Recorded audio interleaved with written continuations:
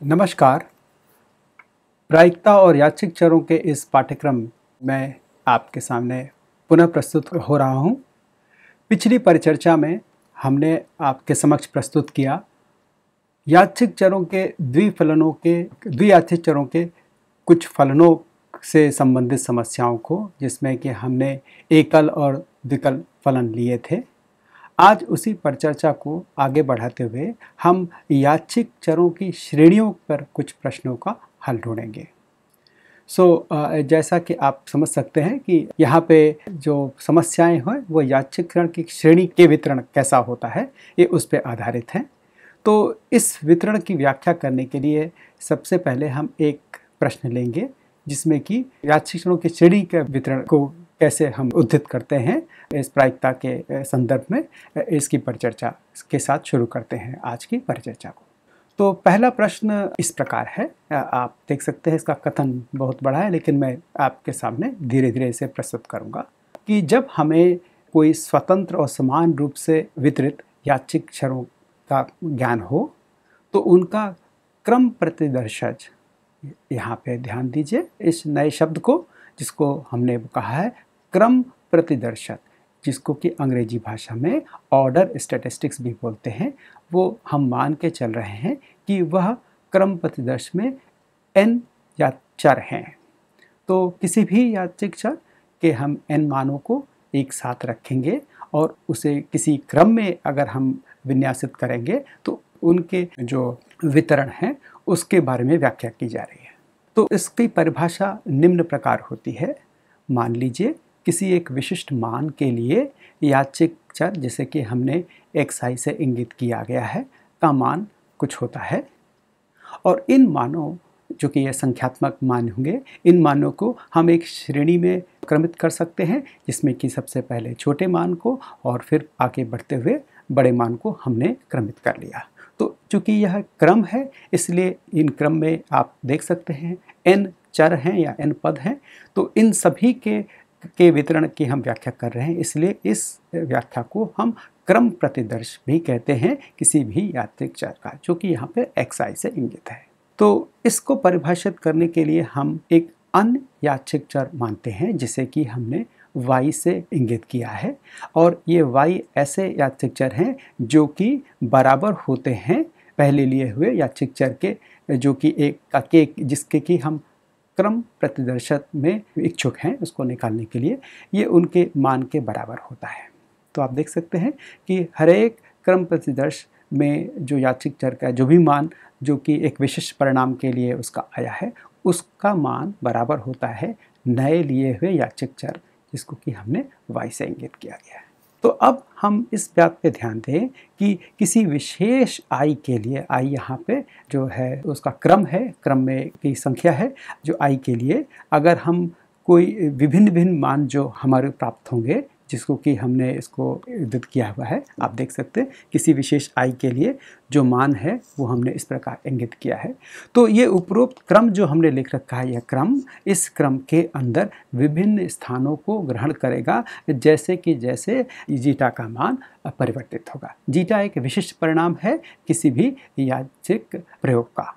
तो उस दशा में अगर हम केवे प्रतिदर्श के प्रायिकता को गणित करने के लिए इच्छुक हो तो उसको गणित करने के लिए हमें पुरुष के प्रायिकता घनत्व को निकालना पड़ेगा। तो प्रश्न यह कह रहा है कि केवा के प्रतिदर्शक जिसको कि हमने वाई के से किया है, जो हमने इनको रूपांतरित किया है, जो रूपांतरण जो है, वो सीधा सीधा रूपांतरण है, जो रूपांतरण वाई है, उनका प्रायिकता घनत्व फलन निम्न प्रकार दिया जा सकता है। तो हम इस प्रश्न में मूलभूत सिद्धांतों को लेते हुए पहले ये दिखाएँगे कि किसी भी क्रम प्रतिदर्श का, प्रायिकता का वितरण का घनत्व फल हम कैसे प्राप्त कर सकते हैं। जहाँ की आप देख सकते हैं इस फलन में जो इसके प्रायिकता घनत्व है, हमारा जो क्रम प्रतिदर्श है, जिसको कि हमने इंगित किया है वाई से जिसमें कि एन पद होंगे, आप समझ ही सकते हैं कि यहाँ एन पद होंगे। तो इसमें जो फलन में जो कैपिटल एफ़ एक्स और स्मॉल एफ़ एक्स जो है, वह जो है, यादृच्छिक चर एक्स आई के वितरण और घनत्वफल क्रमशः होते हैं। तो आप देख सकते हैं कि हम यादृच्छिक चर के मान के वितरण और घनत्वफल की सहायता से उनके क्रम प्रतिदर्श के प्रायिकता घनत्व की गणना करने में इच्छुक हैं। तो आइए इसकी हल की व्याख्या प्रस्तुत करें। तो पहला हमें इस तथ्य पर ध्यान देना है कि प्रायिकता घनत्व फलन की व्याख्या हम पहले भी कर चुके हैं, को हम निम्न प्रकार कर सकते हैं। कि कोई भी प्रायिकता घनत्व चूँकि वह घनत्व है, अगर उसे कुछ वाई के किसी छोटे मान से अगर हम उसे गुणित करें तो वह एक प्रायिकता देता है। किसी भी याचिक चर जहाँ पे, यहाँ पे वाई के है, के मान लेने की, अगर उसका मान y है y और y प्लस वाई धन डी वाई, जो कि डी वाई एक छोटा उसमें परिवर्तन है उसके वाई के मान में। तो ये इस अंतराल में जो याचिक चर y के है, उसकी प्रायिकता को इंगित करता है। जिसे कि हम प्राप्त कर सकते हैं, प्रायिकता घनत्व फलन, अगर हमें पता हो उस याचिक चर का वो गुणा करते हुए उस अंतराल का, जो अंतराल यहाँ पे आप देख सकते हैं, डी वाई का है। तो घटना बी, जो कि ये बताती है कि याचिक चर वाई के इस अंतराल में, इस छोटे अंतराल में होता है।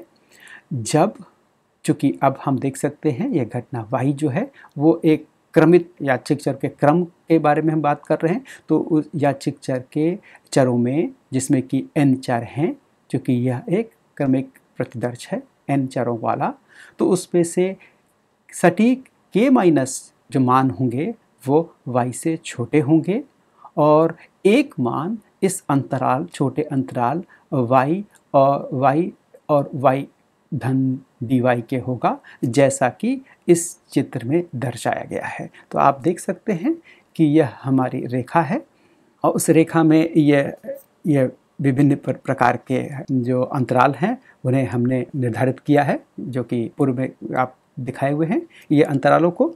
इस अंतराल में यह अंतराल है एक छोटा अंतराल जिसमें कि याचिक चर स्थित है, यह इसका मान है। तो हम इसका प्रायिकता निकालने में इच्छुक आप देख सकते हैं, चूँकि यह एन मानों का का वितरण है इस रेखा में तो y से कम के माइनस वन मान होंगे और निश्चय ही एक मान इस अंतराल में होगा और इससे आगे के अंतराल, दाई तरफ़ के अंतराल में शेष याचिक चर होंगे, जिनको कि आप जान ही रहेंगे कितने होंगे संख्या में। नहीं तो देखिए, नीचे के पद में। तो जो कि मूल प्रयोग, जिसे कि हमने प्रतिदर्श समष्टि के कुल घटनाएँ जो होंगी ऐसी दशा में, जब एक छोटे अंतराल में इच्छुक होंगे, वो अंतराल घटनाओं को हम तीन प्रकार की घटनाओं में विभाजित कर सकते हैं। एक वह घटना, जब याचिक चर का मान वाई से छोटा होगा, जो कि हमने घटना ए वन से इंगित किया है। एक वह, जब छोटे अंतराल में उसका मान निहित होगा तो उसको हमने ए टू से किया है और एक जब इसका मान इस अंतराल की दाई जो सीमा है उससे बड़ा होगा। तो इसका एक्स का मान जो है वाई धन डी वाई से ज़्यादा होगा। तो ये तीन तरह की ही घटनाएँ संभव होगी इस समय में। तो ऐसी दशा में जो प्रायिकता है तो जो चूँकि जो प्रदर्श समष्टि का विभाजन करेंगी एक तीनों घटनाएँ तो यह तीन प्रायिकताओं को जनित करेंगी। वो प्रायिकता होगी, पहली घटना एवन की प्रायिकता होगी, जो कि हम लिख सकते हैं विचरण फलन जो है एफिक्स के, अगर हम उसमें वाई का मान प्रतिस्थापित कर दें। इसी तरह प्रायिकता जो होगी, जो हमारा घटना ए टू की होगी, वह होगी प्रायिकता घनत्व फल याचिक चर एक्स का जिसमें कि वाई का मान प्रयुक्त किया गया हो। और इसी तरह हम लिख सकते हैं, घटना ए थी की प्रायिकता होगी, जो कि यह कोई सारी घटनाओं की प्रायिकता एक होगी तो इसे हम इसे घटाकर, इसके प्रतिलोम से एक में से घटाकर प्राप्त कर सकते हैं। तो यह हो गई, यह किसी भी एक अगर क्रमिक अगर हम प्रतिदर्शक की बात कर रहे हैं तो क्रमिक प्रतिदर्शन में वो मान जो होगा, वह एक क्रम में लगा होता है और अगर कोई भी याचिक प्रयोग करेंगे तो उसके विभिन्न भिन्न मान आएँगे जो इन रेखीय जो हमारा, जो प्रायिकताओं के अंतराल हैं, वो विभिन्न अंतरालों में उनका मान जो है निहित होगा। और हम ये निकालना चाहते हैं कि उस पूरे क्रमित प्रतिदर्शक की प्रायिकता हम कैसे करना कर सकें। तो आइए आगे बढ़ते हैं। अगर हम इसी प्रयोग को एन बार करें इसीलिए हम इसको इंगित किया है एस के घात एन जो कि यही प्रयोग एक बार किया तो हमें कुछ मान मिल गया, जो कि हमने देख लिया कि ये इस क्रम में वो मान किस अंतराल में निहित होता है। इसी तरह इस प्रयोग को अगर हम इन बार करें और अगर यह क्रमिक प्रतिदर्शज है तो हमें घटना ए वन के ऋण एक बार होती हुई प्रतीत होगी और घटना ए टू केवल ए की भार होगी। और घटना ए थ्री, चूँकि हमने एन बार किया है तो एन ऋण के बार होगी। तो कहने का ये मतलब है कि यह, वह सारी संभावनाएँ हैं, जबकि किसी भी क्रम में वितरित, किसी भी याचिक चर के मान में एक विशेष अंतराल में होने वाली सारी संभावनाओं की हमने गणना कर ली। तो अगर हम एन का, अगर मान बहुत ज़्यादा रखेंगे तो इस तरह से हमें एक प्रायिकता का भास होगा। उसी प्रायिकता की गणना हम करने जा रहे हैं। तो अब आपने ये समझा कि अगर इस करेंगे, अच्छी घटना को अगर हम इसको बार बार करेंगे तो हमें एक विशेष अंतराल में तो वह घटना एक ही बार होती हुई दिखेगी, लेकिन बाकी सब जो है अंतरालों में वो बाकी जो प्रयास होंगे, वो उसमें याचिक चर का मान वितरित होगा। और कैसे वितरित होगा? वो इस प्रकार आपके सामने है। तो अब हम समझ सकते हैं कि यह सारे प्रयोग स्वतंत्र हैं तो इन्हें इन परीक्षणों को हम बर्नौली परीक्षण की तरह उद्धित कर सकते हैं और उसी को ही सामान्यकृत हमने किया है। तो इस सामान्यकरण से घटना बी की प्रायिकता को हम लिख सकते हैं, बर्नौली की प्रायिकता के सूत्रों के अनुसार।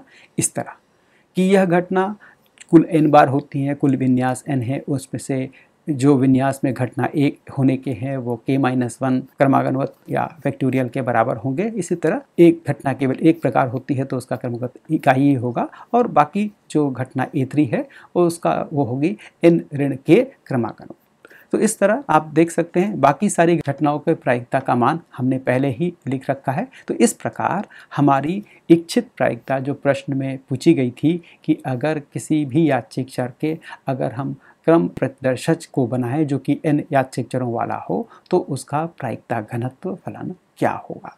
तो ये हमने प्राप्त कर दिया। आइए इन परिणामों की कुछ व्याख्या करें।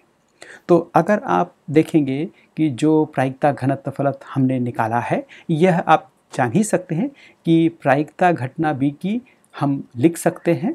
प्रायिकता घनत्व फलन में, जैसा कि हमने पूर्व में देखा ही था। तो अभी मैं आपको पीछे के पटल में ले जा रहा हूँ क्योंकि हमने इसकी गणना कर ली। ये कैसे कर ली? हमें तो गणना करनी थी प्रायिकता घनत्व फलन की, लेकिन हमने प्रायिकता घनत्व फलन को पहले ही परिभाषित किया था कि कोई भी प्रायिकता जो होती है वह प्रायिकता घनत्व फलन में लिखी जा सकती है अगर उसे छोटे अंतराल से। तो यह प्रायिकता इंगित करती है प्रायिकता घनत्व फलन की। इसी का प्रयोग करके ही हमने इस प्रायिकता को इस फलन से प्राप्त किया है। यह हम लिख सकते हैं, प्रायिकता जो है, इसी तरह बाकी अन्य मान। ये सब प्रायिकता घनत्व फल के तरह लिखे जा सकते हैं। आइए अब हम एक एक और जिसके लिए मैं आपको पूर्व में ले गया था, लेकिन मैं इस फलन में अगर आप देखेंगे तो यह बताता है केवा प्रतिचर्ष। तो कुल हमारे जो कि कीमा प्रतिशत है, इसे कीमे प्रतिशत के लिए हमने प्रायिकता लिखी है। इसी तरह अगर पहला प्रतिदर्श क्या होगा और या एनवा प्रतिदर्श क्या होगा, चूँकि यहाँ पे एन चार हैं तो उसकी गणना हम करके देखते हैं कि वह क्या इंगित करते हैं। तो इसके लिए अगर हम पुनः आएँ तो देखते हैं, अगर हम ये ध्यान दें कि पहला प्रतिदर्श जो होगा इस प्रश्न में उसको हम व्यक्त कर सकते हैं, आप देख सकते हैं कि जब हम के का मान एक रखेंगे, जो कि आप ये देखते हैं प्रायिकता जो है, ये के के लिए है तो के का मान अगर हम एक रखेंगे तो आप ये देख सकते हैं, ये फलन जो है, वो सरलीकृत होकर केवल एन मान देगा और ये सारे मान हम पूर्व की तरह हमने लिख रखे हैं तो आप इसको इस प्रकार लिख सकते हैं। चूँकि यह के ऋण एक देगा और दूसरा एन ऋण के देगा तो इन दोनों को अगर हम साथ में रखेंगे तो हमको एन एक मिलेगा और एक प्रायिकता तो ही है कि वो अंतराल ए टू जो घटना ए टू होने की। तो इस प्रकार हमारी ये तो है पहले प्रतिशत की। इसी तरह एनवे प्रतिशत की प्रायिकता घनत्व फलन इस प्रकार लिखा जा सकता है। तो अब आप देख सकते हैं कि यह याचिक चरों, जो जिन्हें कि एक्स आई से इंगित किया, का न्यूनतम मान है और यह इसका अधिकतम मान है।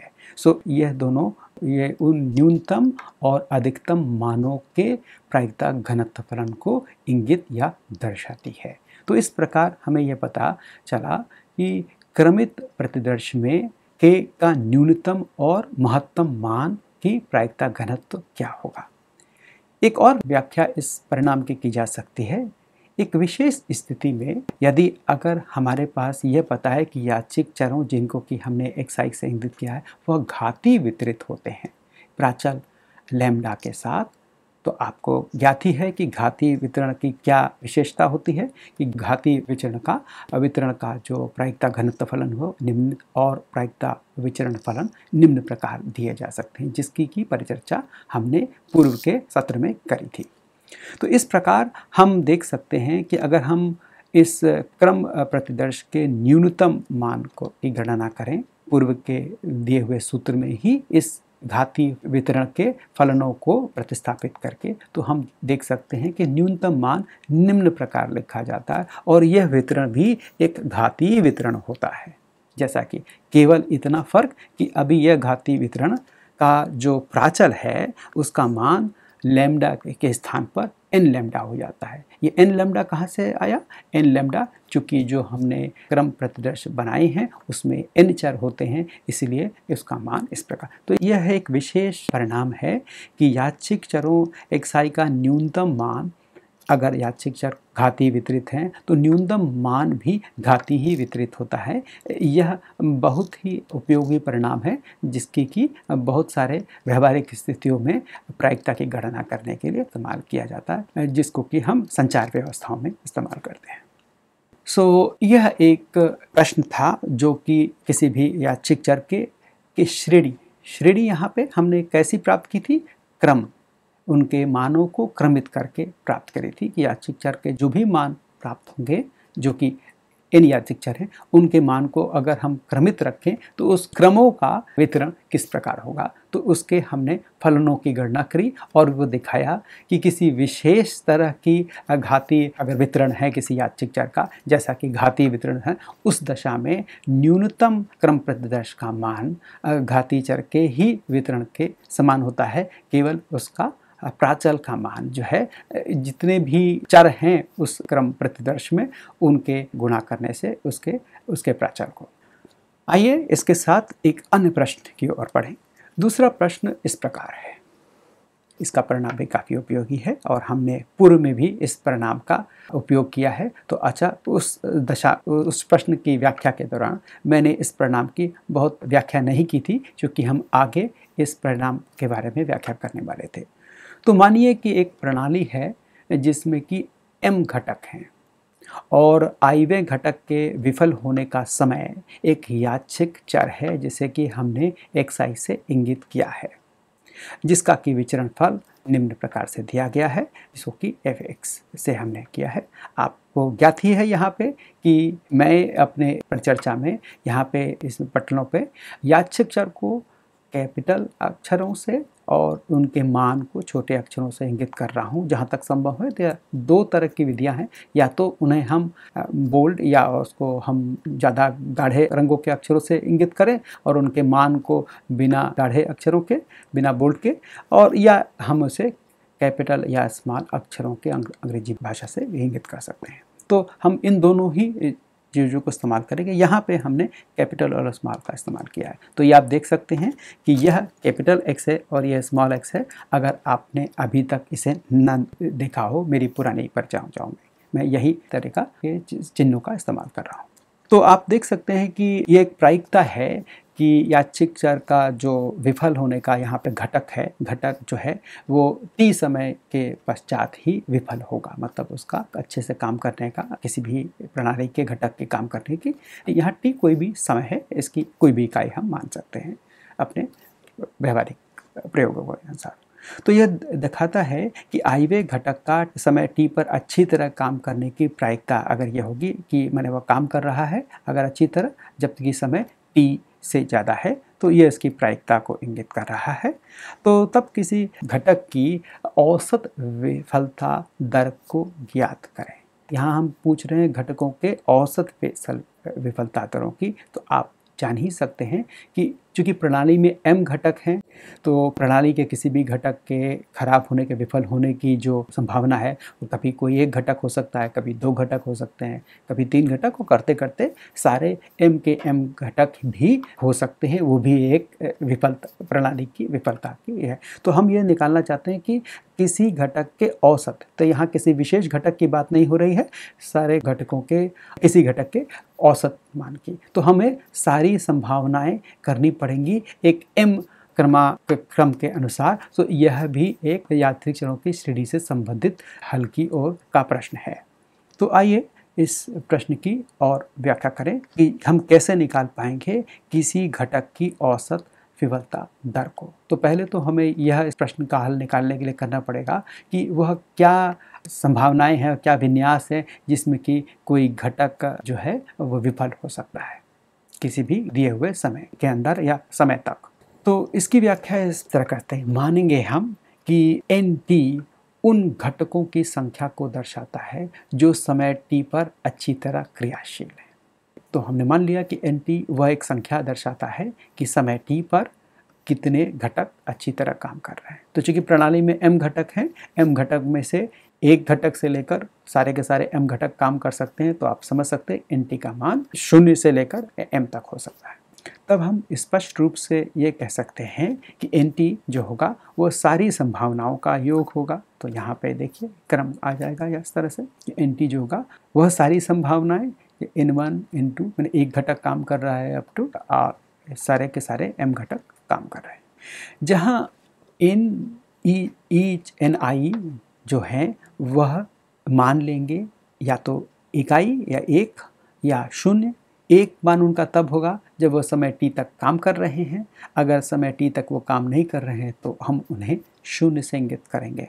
तो इस प्रकार हम देख सकते हैं कि हमें पहले ही पता है प्रश्न के कथन में कि किसी घटक मतलब ये संख्या एन का औसत मान क्या होगा? औसत मान हमने पहले ही निकाल रखा है कि औसत मान जो है वो एक ऋण जो हमारा प्रायिकता वितरण फलन है, उसके संबंध में हम लिख सकते हैं। अब हम सारे घटकों का औसत मान की ओर बढ़ रहे हैं। तो इसलिए एन का औसत मान होगा, जो कि हम इसे इंगित कर रहे हैं। एक ईटा टी किसी भी आप ग्रीक भाषा के अक्षर से इसको लिख सकते हैं, अल्फ़ा, बीटा, आपकी जो इच्छा हो। वो इसको माना जा सकता है। हमने मान लिया कि इसे इंगित किया गया है। यह है औसत मान एन टी एन टी क्या है? एन टी उन घटकों की संख्या है जो टी समय पर अच्छी तरह से क्रियाशील है। तो अब हम देख सकते हैं कि यह औसत मान कैसे हमने प्राप्त किया? यह औसत मान हमने प्राप्त किया। यह औसत मान ये इन सारी संभावनाओं के योग के बराबर होगा। और हर एक एन आई का औसत जो है हमने प्रश्न में ही हमें दिया हुआ है कि वह इस प्रकार है।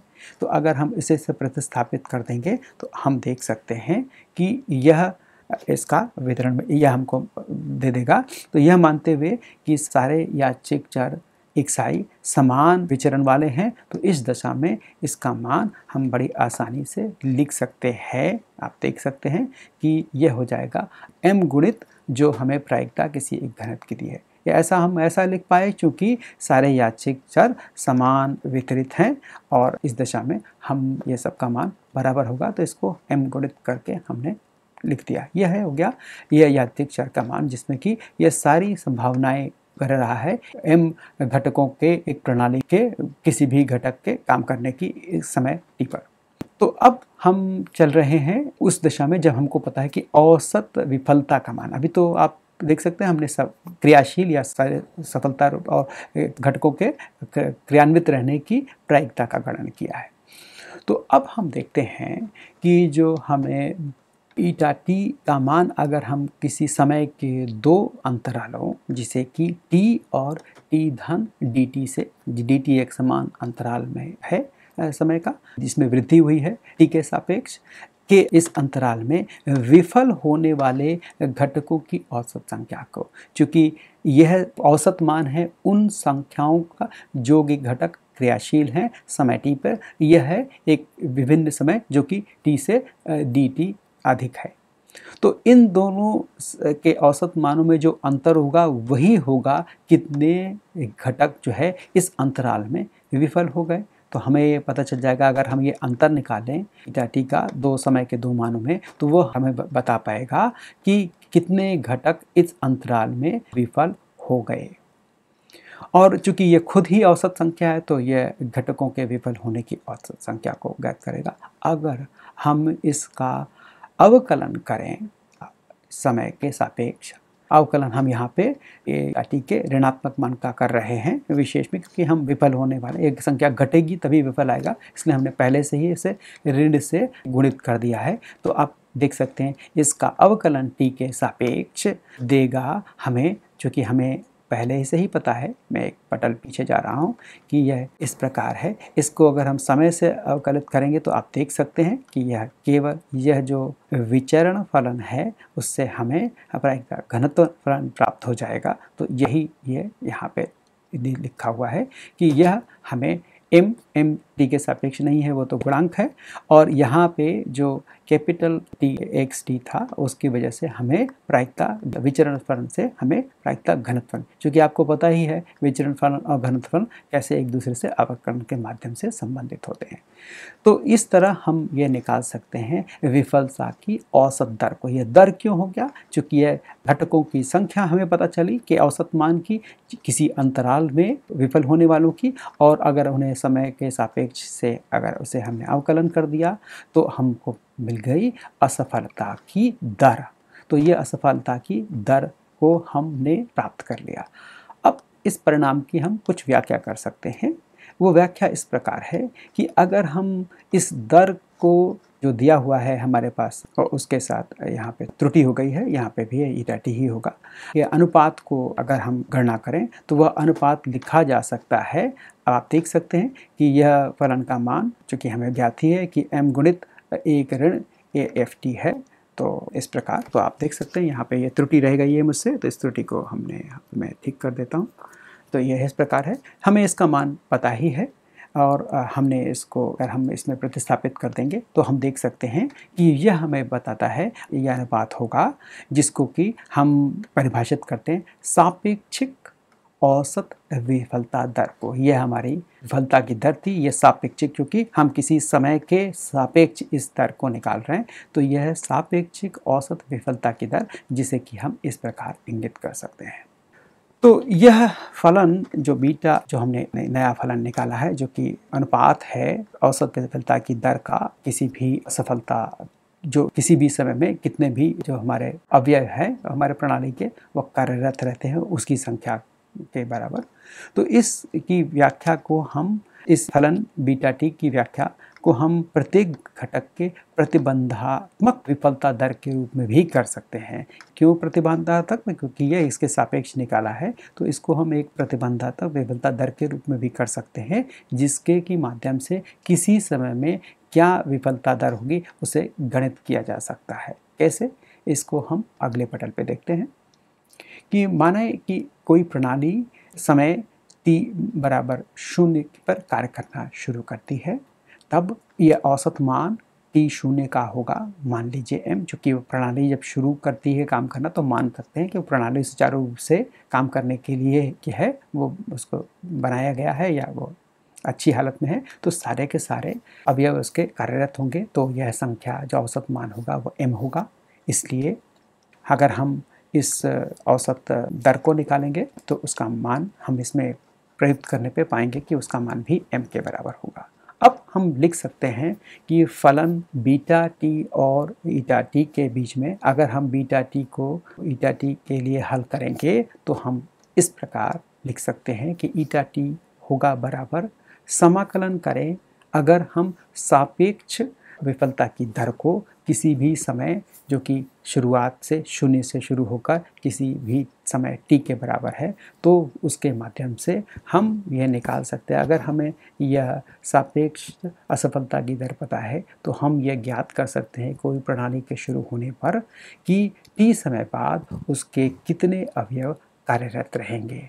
तो यह एक बड़े व्यावहारिक परिणाम देता है, जब भी हमें कोई भी बहुत ही विस्तृत प्रणाली की संरचना हम करते हैं और उसमें कुछ अवयव ऐसे होते हैं जो कि बहुत ही महत्वपूर्ण होते हैं और अगर वह खराब हो जाएँगे तो पूर्ण प्रणाली के सुचारू रूप से कार्य करने पे हमारे को नहीं कर पाएगी। तो इसलिए हम कुछ अवयवों को कई सारे अवयवों के साथ बनाते हैं, जिसमें कि अगर कोई एक अवयव अगर विफल हो जाता है तो दूसरे अवयव उस पूरी प्रणाली को कार्यरत रखें। यह हमारे किसी भी बहुत ही बड़े प्रणाली को सुचारू रूप से कराने के लिए, विन्यासित करने के लिए और या उसको डिज़ाइन करने के लिए बहुत ही महत्वपूर्ण प्रायिकता संबंधी परिणाम देता है। तो आइए हम एक दूसरे प्रश्न को लें। प्रश्न इस प्रकार है। एक परिभाषा के अनुसार अगर हम कोई याचिक चरों के बारे में पता है, जिसे कि हमने एक्स आई से इंगित किया है।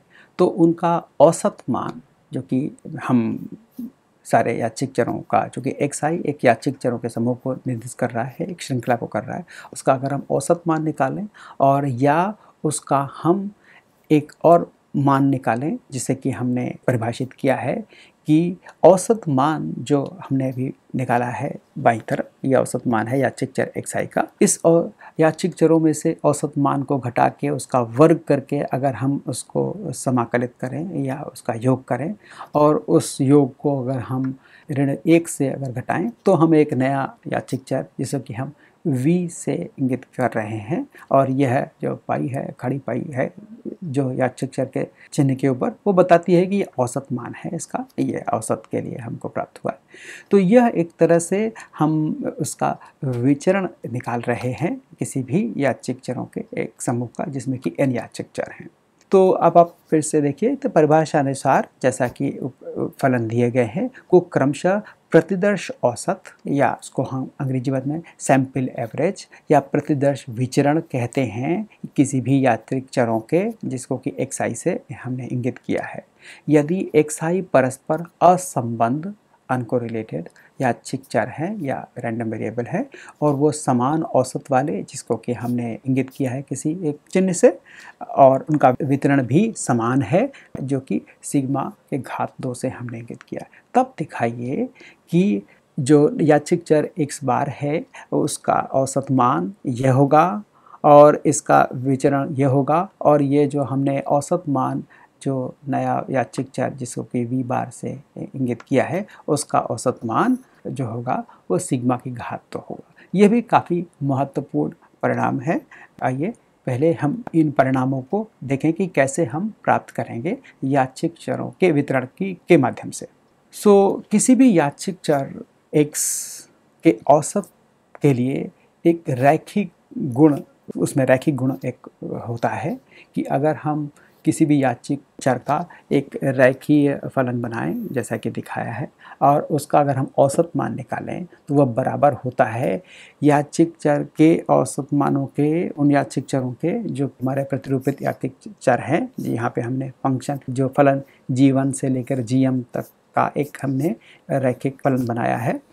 उनके स्वयं के औसतों को गुणित करके जो भी हमारे रैखिक, जो स्थिरांक हैं, उनसे प्राप्त कर सकते हैं। तो यह एक बड़ा ही साधारण सा संबंध है, जिनकी की व्याख्या हमने पहले भी करी थी। इसी के माध्यम से हम ये लिख सकते हैं कि प्रथम संबंध जो हमने भी दिखाया था, उसको हम औसत के रैखी गुण, जिसकी की व्याख्या मैंने अभी ऊपर की, के गुण से प्राप्त कर सकते हैं। कैसे? आप यहाँ देख सकते हैं कि यहाँ पे फलन जो हमारा जो फलन है, वो बहुत सीधा साधा है क्योंकि हम औसत निकालते हैं तो सभी याचिक चर को हम एक बटा एन से गुणित करके उनका योग कर देते हैं तो आप देख सकते हैं कि यही है हमारा फलन।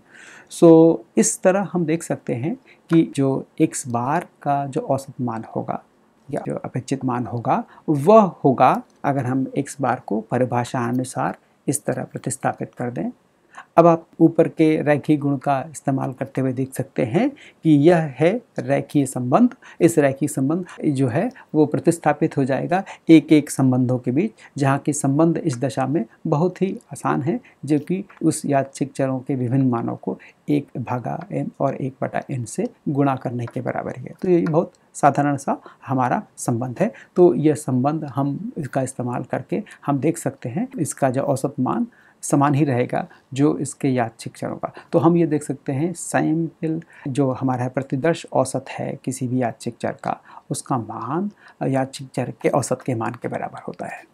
तो यहाँ पे आप देख सकते हैं कि औसत मान n की संख्या, ये हमारे ऊपर निर्भर करता है कि हम कितने लें, एक, दो, चार, दस कितने लें, लेकिन जो किसी भी यादृच्छिक चर का अवसर होता है, वो आंसम्बल एवरेज पे होता है, वो सारी संभावनाओं के ऊपर से प्राप्त किया जाता है। और यहाँ पे जिसको कि हमने प्रतिदर्श औसत कहा है वो हमारे पास जितनी भी हमने उसकी अवलोकन किया है, उस यादृच्छिक चर के बारे में, उसी पर आधारित है। तो यही दोनों बराबर होते हैं, जिनका औसत मान बराबर होता है।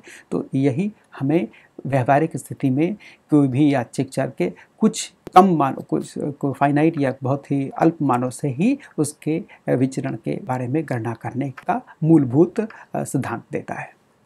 इसी तरह अगर यादृच्छिक चर जैसा कि हमने प्रश्न में उदित किया गया है यह असंबंध है या अनकोरिलेटेड है अंग्रेज़ी भाषा में तो इस दशा में इनका जो सह प्रतिदर्श स विचरण होगा, उसका मान शून्य होगा। किसी भी यादृच्छिक चर ए के मान एक्स आई और जे के लिए। तो इस दशा में अगर हम किसी इन यादृच्छिक चरों एक्स आई का योग निकालेंगे। तो उस योग का जो विचरण होगा, उसका मान यादृच्छिक चरों के, स्वयं के विचरणों के योग के बराबर होगा। तो जैसा कि आपको ज्ञात है, यहाँ पे सारे यादृच्छिक चर जो एक्स आई है वह समान औसत वाले और समान विचरण वाले हैं। तो अतः हम देख सकते हैं कि इस जो हमारे यादृच्छिक चरों के योग, जिसको कि हमने एक्स से इंगित किया है, योग, यहाँ पे जो है एक्स को, इनके योग का विचरण जो होगा, वो हम लिख सकते हैं क्योंकि ये सारे संबंध, समान विचरण वाले हैं तो अतः इसका मान सिग्मा के घातु बटा एन आता है। यहाँ एन जो है याचिक चरों की संख्या को इंगित कर रहा है, जिनका कि योग किया गया है आपस में।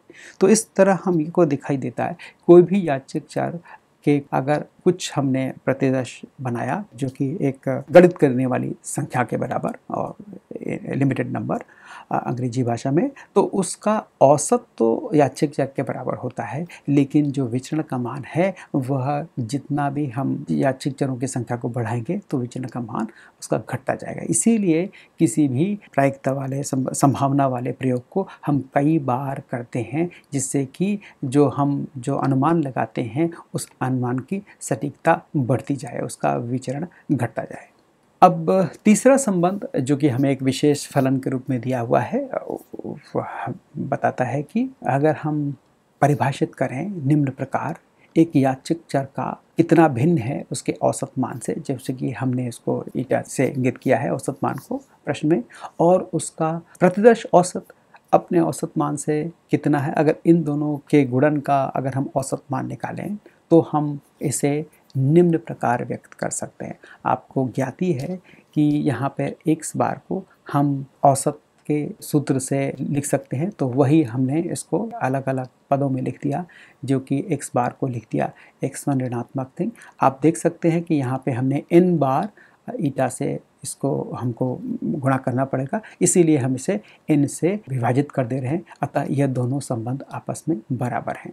ऐसी दशा में अब हम प्राप्त कर सकते हैं कि हम इस व्यंजक, जिसमें कि x1 से लेकर xn तक के पद होंगे, उसको गुणा कर रहे हैं किसी एक विशेष पद जिसका कि क्रमांक आई है। तो ऐसी दशा में आप देख सकते हैं कि बाकी सारे मान, चूँकि यादृच्छिक चर आपस में असंबंधित हैं या अनकोरिलेटेड हैं तो वो सारे मान के लिए उनके गुणन का औसत जो है वो शून्य हो जाएगा। यही हमने पहले भी दिखाया था कि उनका जो सह विचरण होगा, वो एक ही याचिक चरों के एक ही क्रमांक न होने पर उसका मान शून्य होता है तो वह सारे पद निरस्त हो जाएँगे। और हमें केवल उस चर जो आई है, उसके अंदर आई के, इस श्रेणी में आई से ही जो गुणन का मान जो है, वह गैर शून्य होगा या नॉन ज़ीरो होगा, और उसका मान हम देख सकते हैं। कि पुनः हमें सिग्मा घात दो भागा एन के रूप में प्राप्त हो जाएगा। यह संबंध आप देख सकते हैं कि यह याचिक चर के इतना व्यंजक जो है, वो याचिक चर के विचरण की परिभाषा पे आधारित है, और एक बटा एन हमने इस याचिक चर जो एक्स बार है, जो कि जो प्रतिदर्श औसत है, वो उसके सूत्र से प्राप्त किया है। तो अतः हमें ये पता चलता है कि इन दोनों याचिक चरों के जो गुणन का औसत है, वह सिग्मा के घात तो भागा एन दिखाया जा सकता है। अब इस परिणाम का प्रयोग करते हुए हम इच्छित चलेंगे। वो इच्छित क्या है कि यह सम्मान मैंने आपको पहले ही व्याख्या कर दी कि यह संबंध हमें प्राप्त हुआ, जब हम ये मान रहे हैं कि याचिक्चर का एक, आई और जे आपस में असंबंध है। अब हम लिखते हैं कि याचिक्चर का अगर हम विचरण निकालें, जो कि याचिक चर को उसके औसत मान से घटाकर, उस घटाव के वर्ग का अगर हम औसत मान निकालें, जो कि परिभाषा होती है विचरण निकालने की तो उसको हम इस प्रकार इंगित कर सकते हैं, अंदर के व्यंजक को हम इस प्रकार विन्यासित कर सकते हैं। आप देख सकते हैं कि हमने इसमें से ईटा को जोड़ और घटा दिया। और उसके बाद इसको इस तरह से हमने विन्यासित कर दिया, जिसमें कि हम ये दो प्राप्त कर सकते हैं। क्योंकि अगर आप इसे एक दूसरे से गुणित करेंगे तो ये ईटा का धनात्मक और ऋणात्मक मान है, वो देगा जिसका की मान शून्य हो जाएगा तो यह इसके बराबर ही है। जो बाई तरफ़ का पद है, उसके बराबर है। और अब हम देख सकते हैं कि यह दो व्यंजकों के घटाव का वर्ग के बराबर है तो हम इसका विस्तार कर सकते हैं, इसका विस्तार कर सकते हैं। ए धन बी के वर्ग के सूत्र के अनुसार तो और उसके बाद हम जिसमें जो औसत जो है ऑपरेटर है, उसको लगाते हुए इसको इस प्रकार लिख सकते हैं। तो आप देख सकते हैं कि यहाँ पे ये पद जो होगा, बड़े आसानी से, यह तो परिभाषा अनुसार या चिक्चर एक्स आई का विचरण है, जो कि सी वाई स्क्वायर से होगा।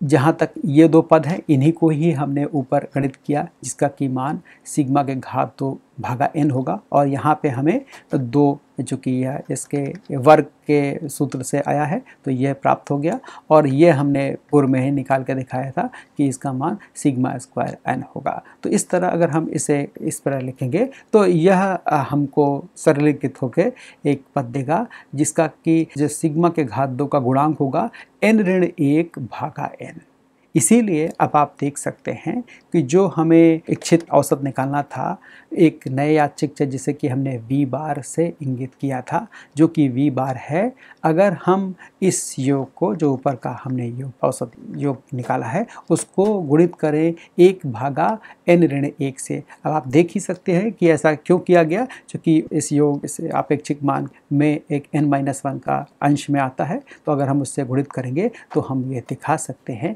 कि यह है याचिक चर का सो यह हमें प्राप्त देता है। आपने इससे क्या प्राप्त किया कि अगर हमें कोई याचिक चर के बहुत सारे अवलोकन करके एक प्रतिदर्श बनाया तो उस प्रतिदर्श का अगर हम औसत निकालेंगे तो उसका अपेक्षित मान या औसत मान बराबर होगा याचिक चर के और उसके विचरण भी उसके बराबर होते हैं। तो यह परिणाम हमें व्यवहारिक तरीका देते हैं कि हम किसी भी प्रयोग में प्राप्त होने वाले संभावनाओं के जो, जो है उस याचिक चर के वितरण फलन के बारे में कैसे गणना कर सकें। सो so, आइए अब हम एक दूसरे प्रश्न की ओर बढ़ें। यह प्रश्न जो है इस बात पे आधारित है कि अगर हम एक याचिक चर जिसका कि हमें विचरण फलन भी दिया हुआ है और हमें यह ज्ञात है कि किसी भी याचिक चर का विचरण फल जो होता है उसका मान शून्य और एक के अंतराल में ही निहित होता है जो कि विचरण फल का महत्तम मान एक होगा और न्यूनतम मान शून्य होगा याचिक चर के। चूँकि या, जो विचरण है, वो प्रायिकता बताता है याचिक चर के किसी एक मान को लेने की आप इससे अच्छी तरह परिचित हैं।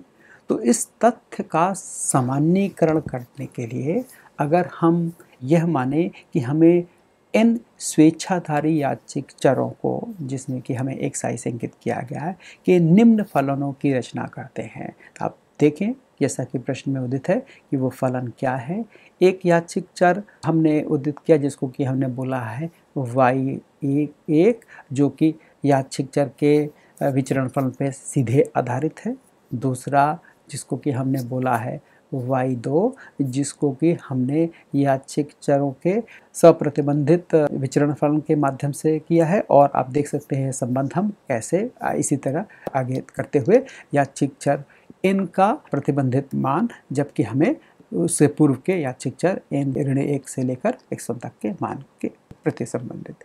तो इस तरह के अगर हम विन्यासित करें तो एक देख सकते हैं कि हमने याचिक चरों को गणना की तो एक श्रेणी की तरह देंगे। वो श्रेणी यहाँ पे क्रमागत नहीं है।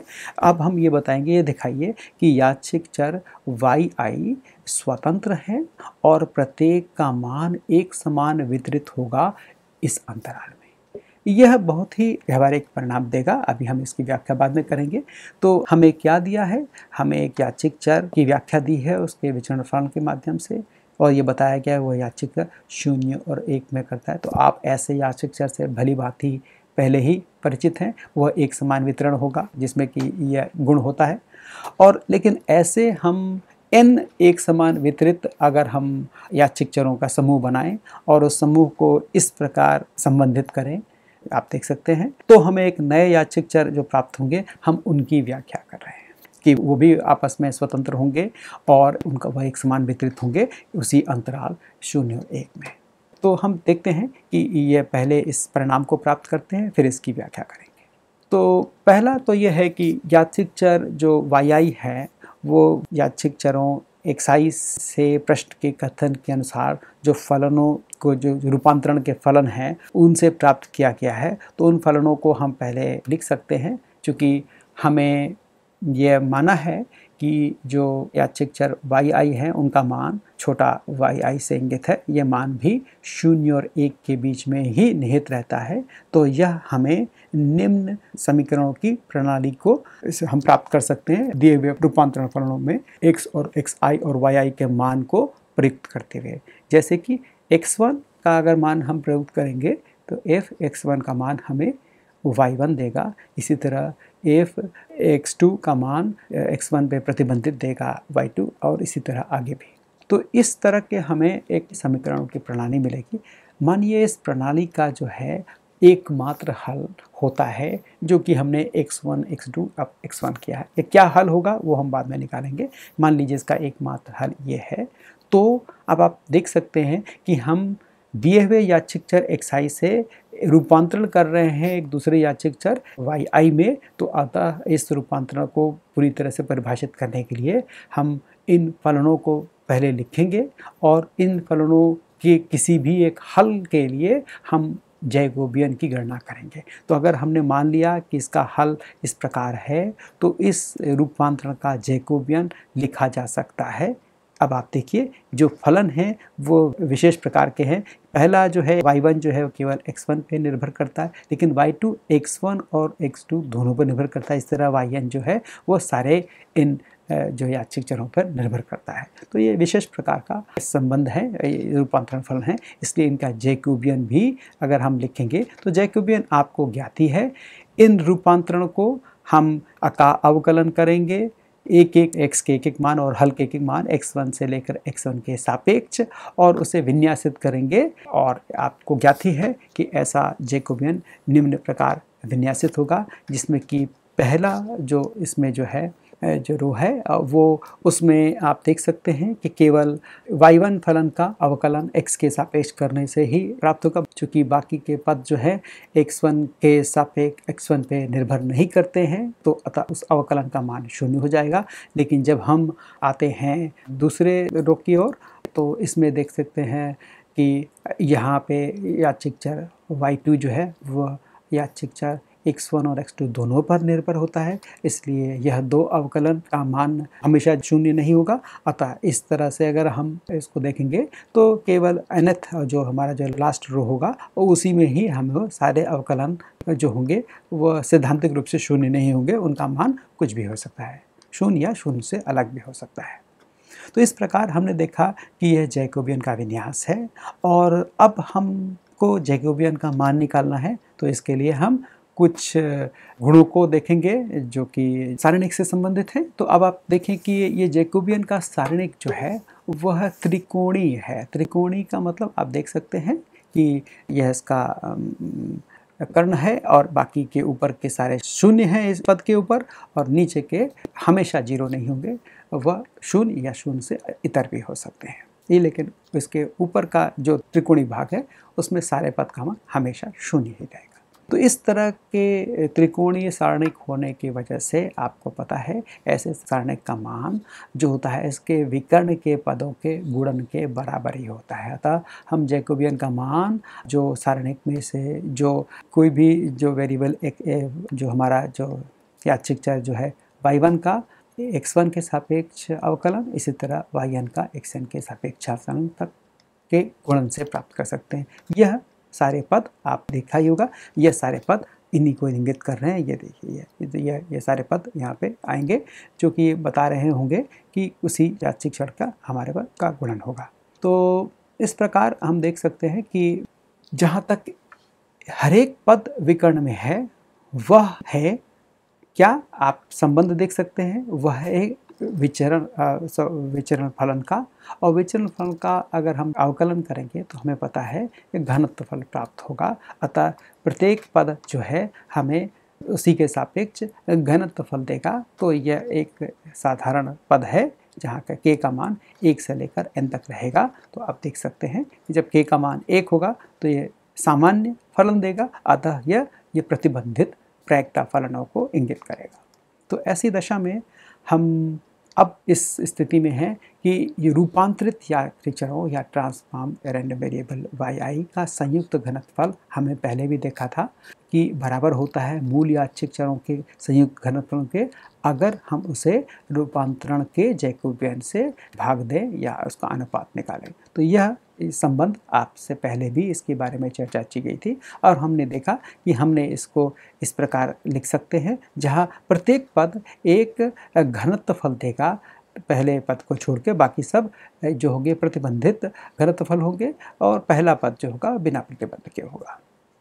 तो इस प्रकार हम इसको इस प्रकार लिख सकते हैं। तो अब आप देख सकते हैं, एक कड़ी गुण जो होता है और अंग्रेज़ी भाषा में जो chain rule of the probability और प्रोबेबिलिटी डेंसिटी फ़ंक्शन होता है कि उस प्रकार हम किसी भी संयुक्त घनत्व को एक, जो कड़ी के रूप में लिख सकते हैं, जिसमें कि उसका मान किसी एक अवयव के या शिक्षक के पहले अवयव और दूसरा अवयव के पहले अवयव के सापेक्ष घनत्व फलन और इसी के बाकी सारे के सापेक्ष लिख सकते हैं, जो उसके संयुक्त प्रायिकता घनत्व के बराबर होगा। अतः इस अनुपात का मान इकाई हो जाएगा। क्योंकि यह ऊपर तो हमने मान ही रखा था कि यह मूल याचिक फलों का संयुक्त घनफल है और जो जैक्यूबियन का मान भी मूल याचिक चरों का संयुक्त घनफल इस विशेष स्थिति में हो जाएगा। अतः यह जो हमारा संयुक्त घनफल वाई का मिला है, उसका मान हमें इकाई प्राप्त हो गया।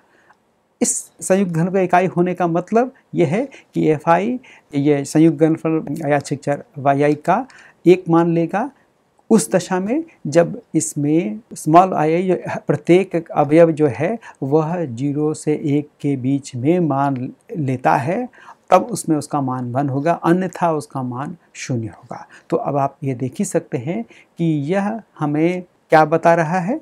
यह हमें बता रहा है कि अगर हम कोई भी समान रूप से वितरित किसी अंतराल में याचिक चलेंगे लेंगे तो अगर उनको हम युग्म बनाएँगे उनके सारे का तो वह भी एक आ, हमको एक समान वितरित याचिक चर देंगे।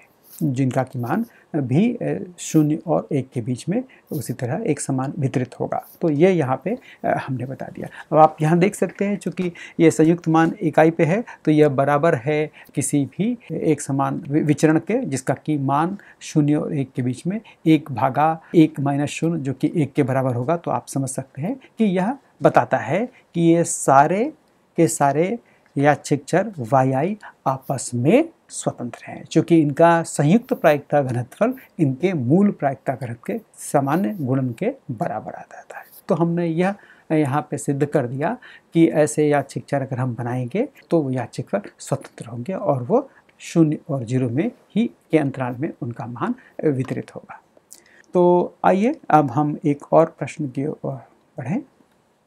यह प्रश्न याचिक चरों के श्रेणी के से के के सप्रतिबंध प्रायिकता घनत्व निकालने पर आधारित है। अगर हमें कोई तीन यादृच्छिक चर X one X two X three जो कि संयुक्त रूप से प्रसमान या नॉर्मल है, शून्य औसत के साथ तब ये ज्ञात करिए कि निम्नलिखित प्रकार के प्रायिकता घनत्व फलनों को, जिसमें कि आप देख सकते हैं कि इस प्रायिकता घनत्व में एक किसी एक याचिक चर के दूसरे के सापेक्ष और गणना की गई है। तो आइए हम देखें कि इस तरह की हम सप्रबंधित प्रायिकता घनत्व की गणना कैसे कर सकते हैं। तो इस गणना इस बात पे आधारित है कि हमें कोई संबंध दिया नहीं है इनके बारे में। एक तो था कि हमें कोई संबंध दिया है, तब तो हम रूपांतरण फलों का जैकोबियन निकाल कर और हम उसके संयुक्त घनफल को गुणा या भाग करके हम उसको रूपांतरित या चरों के का संयुक्त घनफल निकाल सकते थे। लेकिन यहाँ पर हम इसको ये मानना चाहेंगे कि हमें ये संबंध नहीं पता है कि कैसे संबंध है तो ऐसी दशा में हम एक, जिसको पे कहते हैं, रैखीय वर्ग माध्य आकलन का प्रयोग करेंगे। आइए इसकी चर्चा करें और फिर देखें कि हम इन इच्छित प्रायिकताओं को कैसे गणित कर सकते हैं। तो इस प्रश्न के शुरुआत करने के लिए हम ये मानते हैं कि हमें कुछ याचिक चर जो कि संयुक्त रूप से प्रसमान वितरित हैं, जिनको कि हमने एक्स एस और एक्स वन से लेकर एक्स एक्स एन संयुक्त रूप से याचिक चर को माना है।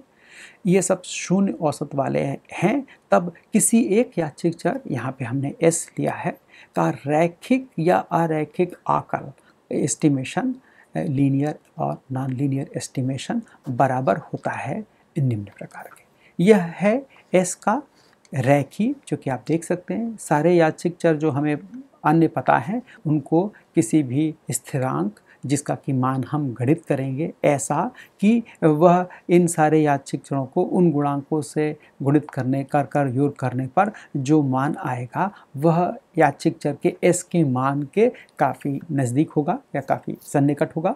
तो इस दशा में हम यह इंगित करता है, जिसे हम कहते हैं वर्ग माध्य आकलन और रेखीय वर्ग माध्य आकलन और लीनियर मीन स्क्वायर एस्टिमेशन अंग्रेज़ी भाषा में। तो यह और हमें उस सिद्धांतों से पता है कि ऐसा आकल आकल का जो औसत मान होता है, वह उस याचिक चर जिसका के लिए आकल गणित किया जा रहा है का प्रतिबंधित मान होता है, ये बाकी अन्य याक्षिक चरों के मान का अगर हमें ज्ञान पता हो तो उस पर के सापेक्ष जो हमने प्रतिबंधित घनत्व होगा, उसके अपेक्षित मान या औसत मान के बराबर होता है। तो यह तो हो गया सिद्धांत जो वर्ग माध्य या पूर्ण रूप से उसको हम त्रुटि वर्ग मार्ग कहते हैं या मीन स्क्वायर एर एस्टिमेशन और त्रुटि वर्ग माध्य आकलन। तो इसको इस्तेमाल करते हुए हम लिख सकते हैं क्योंकि सारे जो याचिक चर हैं वो प्रासामान्य हैं तो उनका चूँकि यह रैखीय संबंध बनाया है। तो आपको पहले से ही ज्ञात है कि अगर हम किसी प्रसामान्य याचिक चरों को लें, उनका योग का जो वितरण होगा, वो भी प्रसामान्य ही होगा। तो हम यह पहले ही जानते हैं।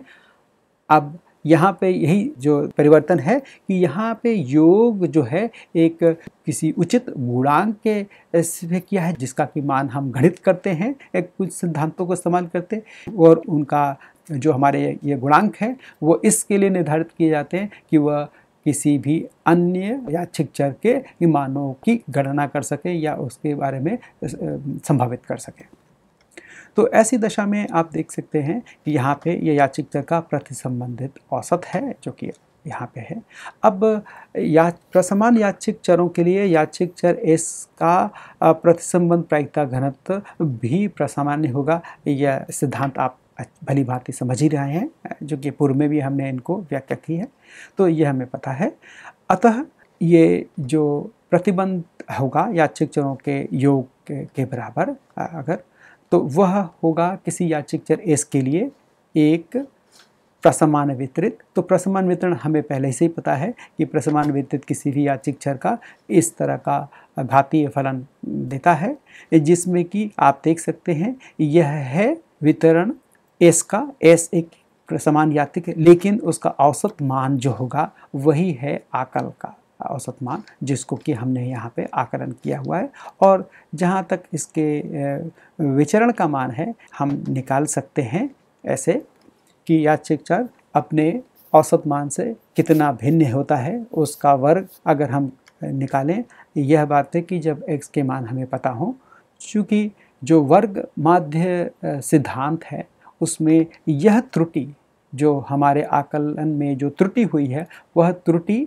आकलन में त्रुटि को बहुत ही घटाने के लिए या उसको न्यूनतम रखने के लिए हम यह सिद्धांत उत्पादित करते हैं कि यह त्रुटियाँ जो हमारे जो याचिकचर एक्स एन याचिकचर हैं, उनके मानों से असंबंधित रहूँ। तो अतः यह संबंध असंबंधित होती हैं या अनकोरिलेटेड होती हैं। अतः इस दशा में हम ये देख सकते हैं यह संबंध की कोई आवश्यकता नहीं है और यह इस पर ही, या इसको इस प्रकार लिखा जाता है, जो कि याचिक चर एस का विचरण होता है। तो यह सिद्धांत सही या परिभाषा सही हो गया। तो अब इन सिद्धांतों, जो कि वर्ग, माध्य विचरण, अवकलन से संबंधित हैं, आइए इनका इस्तेमाल करके दिए हुए तीन प्रसंबंधित, प्रतिबंधित प्रायिकता घनत्वलों की गणना करें। तो पहले हम शुरू करते हैं पहले संबंध से। तो हमको पहले, हमने जो अभी चर्चा करी कि रैखी वर्ग, माध्य आचलन से हम लिख सकते हैं। इस दशा में जब हमको यह निकालना है कि याचिक चर दो या एक्स टू का जो आचल होगा, जो कि रैखी आचल होगा, वह होगा कि याचिक चर एक्स वन को हम किसी गुणांक से गुणित करके प्राप्त करें उसका मान। और हमें पहले से पता है कि वर्गमात आचलन में ऐसा मान याचिक चर दो का एक्स टू का का प्रतिबंधित मान होता है एक्स वर्ग के औसत के बराबर होता है।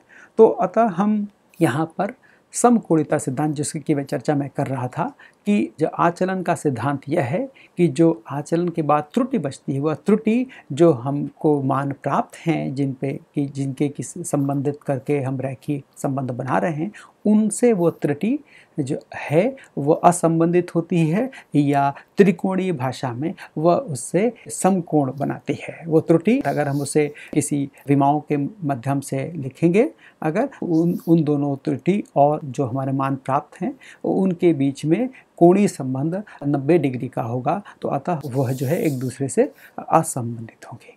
तो इसको समकोणिता सिद्धांत भी बोला जाता है और अंग्रेज़ी भाषा में ऑर्थोगोनलिटी प्रिंसिपल बोलते हैं। उसकी सहायता से हम लिख सकते हैं कि आकलन में होने वाली त्रुटियाँ, आकलन में प्रयुक्त ज्ञान, जो कि हमें एक्स वन या शिक्षक का ज्ञान है के गुणन का औसत जो है वह शून्य होता है, अतः एक दूसरे से असंबंधित है।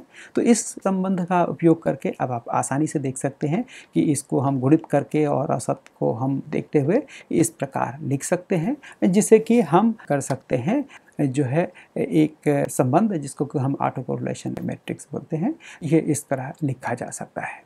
तो हमने इस तरह यह आकलन कर लिया, एक रैखिली आकलन किसी दूसरे चर का अगर उसमें कोई संबंध है तो यह रैखी संबंध के माध्यम से। तो हमने इस प्रश्नों में संबंध हमें दिए नहीं गए हैं रूपांतरण के, और हमने इस संबंधों को, जो हमारे ये जानकारी है किसी भी अतियाचिक चर के माध्यम से, हमने उसके माध्यम से उन्हें गणित किया है। तो अभी हम प्रक्षेपण प्रमेय द्वारा आकलन की त्रुटि में का मान हम जो निकाल सकते हैं, जो जो कि आप इस प्रकार आकरण में जो त्रुटि हो रही है वो प्रक्षेप प्रमेय जिसको कि आपने सिद्धांत रूप से पढ़ा ही होगा पहले ही। इस वर्गमाद आचरण के संबंध में को इस प्रकार लिखा जा सकता है। जे आप देख सकते हैं कि यह दोनों याचिक चर का गुणन किया है तो यह हमें आर टू टू देगा। यह हमारा जो ऑटो कोरिलेशन मैट्रिक्स है, और इस तरह हम इसको विन्यासित कर सकते हैं। हमें पहले ही बताया था कि चूँकि यह याचिक चर प्रसमान्य है और दूसरे याचिक चर को हम एक रैखी संबंध से कर रहे हैं तो वो रैखी संबंध के लिए उनका भी जो वितरण होगा, वह प्रसमान ही रहेगा। तो इसकी वजह से हम ये लिख सकते हैं कि ये प्रतिसंबंध जो प्रायिकता घनत्व फलन है, वह भी प्रसमान वितरित होगा। केवल उसका औसत मान ये हो जाएगा। ए एक्स वन, जहाँ ए का मान यह आपके सामने दिया है तो यह हमें ज्ञात है और हम इसको, इसके औसत मान के रूप में प्रयुक्त कर सकते हैं प्रायिकता घनत्व के व्यंजक में। और यहाँ पर जो है, जो हमारा जो इसमें विचरण होगा इस दशा में, प्रतिबंधित वितरण होगा, वह जो है हम उसको प्रक्षेप प्रमेय निम्न प्रकार ज्ञात कर सकते हैं। जहाँ के ए का मान हमें ज्ञात है, यह सभी चीज़ें हमें जो यादृच्छिक चर एक्स वन एक टू के अवलोकित मान है, उन्हीं से प्राप्त किया गया। तो अतः यह सारा संबंध जो है, पूरी तरह से परिभाषित हो जाता है। और जहाँ तक जो इस फलन का विन्यास है, वो एक घातीय फलन के होगा, या अंग्रेज़ी भाषा में एक्सपोनेंशियल डिस्ट्रीब्यूशन होगा, वो हमने पहले ही ये तर्क दिया, चूँकि यह रेखीय फल है एक प्रसमान विचरण का तो उसका प्रतिस्थापित और रूपांतरित जो आर्थिक चर होगा, वो भी प्रसमान ही वितरित होगा। आइए दूसरे संबंध की व्याख्या देखें।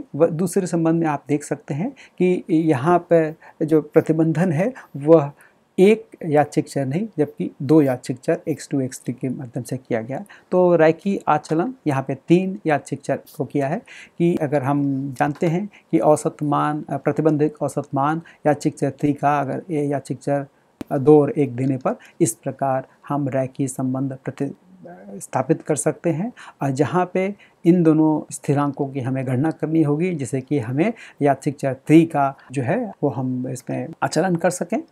तो ये इसके स्थिरांक हैं। तो हमें ये ज्ञात ही कि स्थिरांकों की गणना के लिए पुनः हम प्रक्षेपण प्रमेय द्वारा निम्न सजातीय समीकरण को और होमोजीनियस इक्वेशन को हम प्राप्त कर सकते हैं यहाँ पर। और वो सजाती जो होंगी, वो समीकरण निम्न प्रकार से हैं। यहाँ पर यह जो क्वांटिटी ये जो है, हमें याचिक चरों के ज्ञात मान से ही हमने इसको गणित किया है। तो खाली यही स्थिरांक है जो कि इस आचलन के लिए हम यहाँ पे इन दोनों समीकरणों को हल करके प्राप्त कर सकते हैं। क्योंकि दो हमारे पास स्थिरांक है अज्ञात तो हमें दो समीकरणों के माध्यम से हम इसे गणित कर सकते हैं। तो गणना यहाँ पे हम नहीं कर रहे हैं, हम केवल इसका रूपरेखा बता रहे हैं कि कैसे यह प्रश्न हल किया जाएगा। क्योंकि हमारे पास कोई भी गणितीय इसमें मान नहीं दिए हुए हैं तो हम गणना कर सकें। तो साथ ही हम आकलन की त्रुटि को निम्न प्रकार व्यक्त कर सकते हैं। वो आकलन की त्रुटि होगी, प्रतिबंधित विचरण फलन इस दशा में जो प्रतिबंध हमें दिए हुए हैं, जिसको कि हम इस वर्ग माध्य आचरण के संबंध में पी से इंगित कर रहे हैं, उसका मान इस प्रकार होगा। यह भी हमने पूरा आपके सामने जो फलन नहीं लिखा है, पूर्व के प्रश्न के अनुसार हम इसको बड़े आसानी से इस तरह से लिख सकते हैं। पूर्व में इसको हमने परिभाषित किया था तो उसी परिभाषा को पुनः लगाते हुए आप इसको इस प्रकार लिख सकते हैं। अतः अगर हमें ये दोनों चीज़ें प्राप्त हो जाती हैं तो हम बड़ी आसानी से उप, इनका प्रतिस्थापन अगर प्रायिकता घनत्व जैसा कि हमने पहले ही चर्चा की है कि प्रसामान्य या चिक्चरों के इस तरह का वितरण भी प्रसामान्य रहता है वह भी प्रसामान्य वितरित रहते हैं तो उसमें केवल जो प्राचल होंगे उन्हीं में ही परिवर्तन होगा तो हमने निकाल लिया यह प्राचल कि उनका विचरण में क्या परिवर्तन होगा और उसके औसत मान में क्या परिवर्तन होगा तो उनकी गणना चूँकि हमें इस दोनों समीकरणों के माध्यम से हम एक स्थिरांक ए वन और ए टू की गणना कर चुके होंगे तो हम इन्हें इस प्रकार सकते हैं जहाँ पे ये मान हमें पहले से ही ज्ञात हैं और ये है, है उसका जो हम याचिक थ्री के यहाँ पे एक्स थ्री की प्रायिकता घनत्व को लिख रहे हैं इस प्रकार हम इसको प्रतिस्थापन करके प्रायिकता घनत्व को दिखा सकते हैं कि वह भी प्रसमान ही विचरित रहेगा लेकिन उसके जो प्राचल होंगे, उनमें क्या परिवर्तन होगा? उनकी हम गणना किसी भी सांख्यिक प्रश्न में इन सिद्धांतों के माध्यम से कर सकते हैं। अब हम चलते हैं एक अन्य प्रकार के प्रतिबंधित प्रायिकता घनत्फलन को, जो कि आप देखिए कुछ विशेष प्रकार की है। अभी तक हमें जो जिस घनत्फल निकाला था, वो कोई एक या चिक्चर था, वो या x2 था या x3 था, जो कि हम एक या दो याचिक चरों पर प्रतिबंधित करके ज्ञात करें। लेकिन यहाँ पर दो याचिक चरों का संयुक्त घनत्व फल हमें निकालना है, जो कि प्रतिबंधित है एक्स वन पे।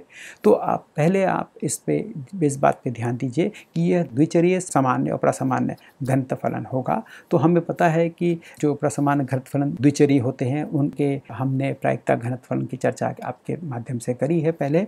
तो उसमें वो जो होते हैं, उनको, उनमें पाँच तरह के प्राचलों की आवश्यकता होती है, अगर आप ध्यान दिए द्विचरी प्रसमान यात्रिक चरों के, आप इसे प्रसामान्य भी कर सकते हैं। सामान्य का मतलब प्रसामान्य तो याचिक है चूँकि हमें ये प्रतिबंधित है तो उसमें दो तरह के प्रतिबंधित औसत वो कौन से होंगे?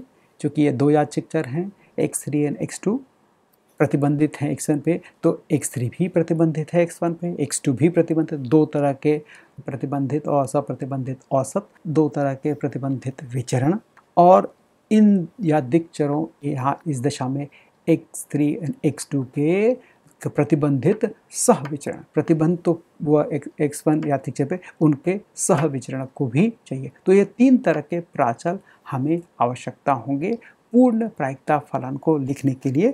तो इस दशा में हम देख रहे हैं कि अगर हम पूर्व के जो उप प्रश्नों का हल हमने प्रस्तुत किया आपके सामने, उनमें की गई चर्चा के अनुसार प्रथम चार प्राचल मतलब दो प्रतिबंधित औसत और दो प्रतिबंधित विचरणों को हम बड़े आसानी से निम्न प्रकार जो है लिख सकते हैं। वो क्या है कि यादृच्छिक चर दो का x के सापेक्ष जो औसत मान होगा, वह हम गणना पहले कर चुके हैं। अगर हम मान के चलें कि रैखी संबंध हम स्थापित करते हैं एक्स टू इलेक्शन में तो वह रैखी संबंध जो है हम पहले ही देख चुके हैं कि उसे हम कैसे वर्ग माध्य आकलन के संबंध में प्राप्त कर सकते हैं। इसी तरह याचिक चर थ्री या एक्स थ्री का, एक्स एक्स वन पे प्रतिबंधित का औसत मान हम लिख सकते हैं इस तरह। और इनके जो है, सप्रतिबंध विचरण फल का गणना हमने पहले ही कर रखी है। केवल यहाँ पे याचिक चरों का अलग अलग याचिक चरों के संबंध में इनकी व्याख्या। एक दशा में हम याचिक चर एक्स टू का एक्स वन पे प्रतिबंधित मान के विचरण की गणना कर रहे हैं, अगर में एक्स थ्री के एक्स वन पे प्रतिबंध तो ये हम इस प्रकार लिख सकते हैं। तो ये चार तरह के जो प्राचल हैं, वो तो पूर्व प्रश्नों के हल से हमें प्राप्त हो गए। लेकिन यहाँ पे एक नया प्राचल है, जो कि होगा, चूँकि ये दो याचिक चर हैं तो यहाँ पे सह विचरण भी हमें ज्ञात करना होगा। सह विचरण, इसका covariance of the these two याचिक चर और रैंडम वेरिएबल सो आइए प्रतिबंधित सह विचरण को निम्नलिखित रूप से परिभाषित हुई। तो यह तो हो गई परिभाषा। हम किसी भी अगर सह विचरण की परिभाषा को ध्यान दें, प्रतिबंध तो एक अन्य उसमें है तो वह होगी याचिक चर का मूल उसके औसत मान से का अंतर, दूसरे याचिक के औसत मान के अंतर का गुणन का औसत जो होता है, वह सह विचरण की परिभाषा है। परंतु जैसा कि प्रश्न दिया है, यह प्रतिबंधित भी है किसके? यह याचिक चर एक्स वन के कोई विशेष मान जिसको कि हमने बिना बोल्ड के लिखा है। तो यह मान है इस याचिक चर का तो अब आप देखें, ये तो परिभाषा हो गई। अब हम इसके बारे में ये देखेंगे कि अगर ऐसी अवस्था है और हम ये संबंध बना रहे हैं वर्ग माध्य आकलन के संदर्भ में तो हमें पता है कि यह आकल है, या चिक्चर एक्स टू का यह आकल है यह रेखी आकल है, या चिक्चर एक्स थ्री का, अतः यह निर्दिष्ट कर रहे हैं इस आकलन में हुई त्रुटियों को। दो तरह के आकल इसमें यहाँ पे हैं। एक्स वन के माध्यम से हमने एक्स टू को भी आकलित किया है और एक्स थ्री को भी आकलित किया है। यह गुणांक जो हैं, आप ये जो स्थिरांक हैं, वो अलग अलग हैं। तो इस तरह से ये दो तरह की त्रुटियाँ प्राप्त हुई हैं इस आकलन में। इस वर्ग आकलन को बहुत सटीक बनाना चाहते हैं तो वो तभी होता है जब ये त्रुटियाँ स्वतंत्र होती हैं, जिनके माध्यम से हमने जिस याचिक चर के माध्यम से इनको आकलित किया है। यही सिद्धांत है वर्ग माध्यम का। तो अतः ये त्रुटियाँ इससे स्वतंत्र होंगी। जब ये स्वतंत्र होंगी तो ये जो प्रतिबंध हमने लगाया है, इस प्रतिबंध को हम हटा सकते हैं। और इस प्रतिबंध को अगर हम हटा दें तो हमारे पास जो व्यंजक पड़े हैं, अगर उन्हें गुणित कर दें आप देखें, इसे गुणित कर दें तो गुणित करके विस्तारित करने पे हम इस संबंध को बड़ी आसानी से इस प्रकार लिख सकते हैं। यहाँ पे यह सारे जो हैं, यह ज्ञात हैं, ये हमें ज्याचिक चरों के ज्ञात मानों से ये ऑटो कोरिलेशन निकालना होगा। तो इस तरह हम देखते हैं कि हमने इसमें सब विचरण का, जो याचिक चरों एक्स थ्री और एक्स टू का है, जो कि एक्स वन पे प्रतिबंधित है, उसकी गणना कर ली। अब जबकि हमने गणना कर ली, चार, पाँच के पाँचों प्राचल की तो अभी हम फलन लिख सकते हैं चूँकि ये द्विचर का फलन काफ़ी बड़ा जो व्यंजक देता है, इसलिए हम उसे लिख नहीं रहे हैं। आप पूर्व के भांति आप देख सकते हैं कि उसे हम एक बड़े से व्यंजक के रूप में लिख सकते हैं, जिसमें कि पाँच प्राचल इस्तेमाल होते हैं, दो याचिक चर हैं। तो और वो हमने पहले ही बता दिया है कि विन्यास के अनुसार वह जो प्रायिकता घनत्व फल होगा, वह प्रसामान्य वितरित होगा। तो वो हमें पहले ही पता है कि प्रसामान्य का कैसा घातीय व्यंजक फल होता है, उसमें दो याचिक चरों के अलग अलग वर्ग और उनके बीच में जो सहविचरण है, उसके संबंधित पद होंगे। तो आप पूर्व की भांति हम इस संबंध को व्याख्या कर सकते हैं। मैं पूरी तरह से यहाँ पे लिख नहीं रहा हूँ। तो इसके साथ हम आज की परिचर्चा में एक अंतिम प्रश्न की ओर बढ़ रहे हैं। वह उदाहरण इस प्रकार है कि प्रायिकता के सिद्धांत में एक प्रमेय है, जिसे कि हम डी माइबर लाप्लास प्रमेय के नाम से जानते हैं, जो कि केंद्रीय सीमा प्रमेय, सेंट्रल लिमिट थ्योरम का एक विशेष स्थिति होती है, एक विशेष प्रकार होता है। वह यह बताता है कि कुछ निश्चित परिस्थितियों में द्विपद वितरण बाइनामियल डिस्ट्रीब्यूशन को प्रसमान वितरण से सन्निकटित किया जा सकता है। मतलब उस वितरण की जो प्रायिकता है, उसके, उसको हम प्राप्त कर सकते हैं प्रसमान वितरण के किसी विशेष परिस्थिति में। तो इस तथ्य से शायद आप ज़रूर परिचित होंगे। सिद्धांत में, परिचर्चा में मेरे सहयोगी ने आपसे इसके बारे में बात की होगी। आइए हम इसको गणितीय रूप में देखें कि ये कैसे होता है। तो इस तथ्य को दर्शाने के लिए हम एक निष्पक्ष शिक्षक को मानिए कि हम छः बार उछालते हैं और मानिए कि एक साई, एक शून्य इकाई मान वाला एक याचिक चर है जो सिक्के के आईवे उछाल में चित या हेड आने की घटना को दर्शाता है। तो इसमें हम खाली लाप्लास प्रमेय, जो कि एक बहुत ही महत्वपूर्ण परिणाम है, उसकी व्याख्या गणितीय रूप से कर रहे हैं। तो आइए पहले कुछ व्याख्या करें कि ये डीमाइबर लैप्रास प्रमेय क्या है।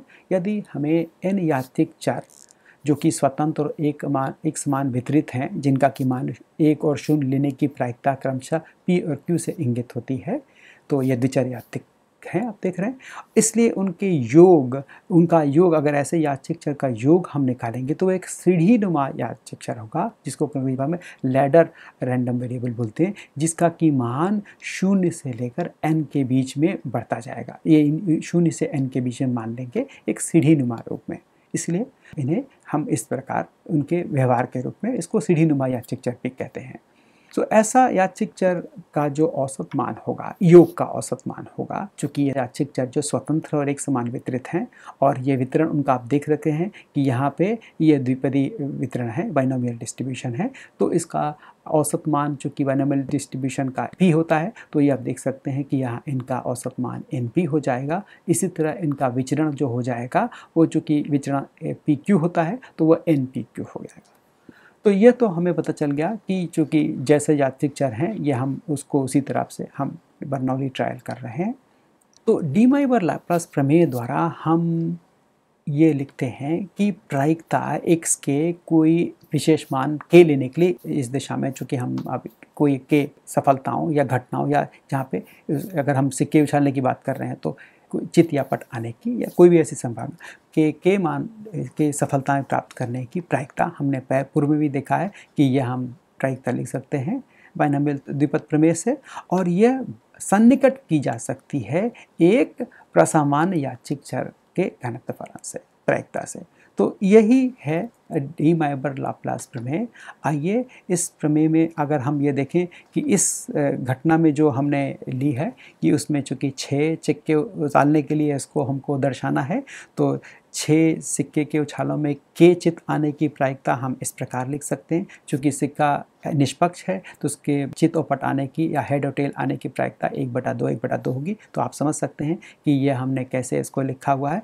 इसको हम कर देते हैं इंगित पी के जो कि बताता है कि के सफलता की प्रायिकता क्या होगी। और हमें पता है कि छः बार उछाल रहे हैं तो ये यह सारे संभावनाओं के योग के बराबर होगी कि एक बार हमें चित आता है या, और या हमें छः के छः बार हेड या आता है। तो इस तरह की प्रायिकता को हमने लिखा है एक तालिका के माध्यम से कि ये हमें पता है कि यह एन माध्यम है जो कि आपका याचिक चर जो कि एक प्रसमान विकृत है, जिसका कि औसत मान और विचरण आप इस तरह लिख रहे हैं, जो कि कैसे संबंधित होगा आपको हमने पिछले पटल में दिखा दिया।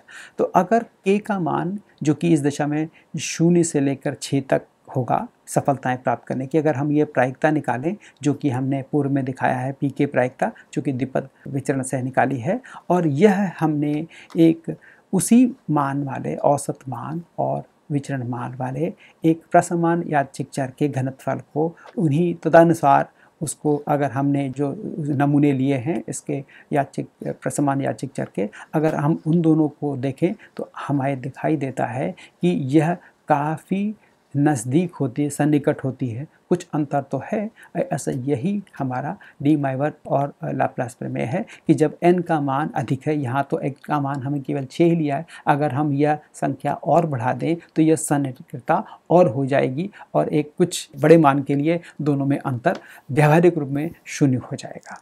तो यह एक और था। तो आज की परिचर्चा में हमने याचिक चरों की श्रेणी के संबंधित कुछ प्रश्नों की चर्चा करी। आशा है कि आपको इस इन्हें समझने में आसानी हुई हो इसी के साथ मैं आपसे विदा लेता हूँ। नमस्कार।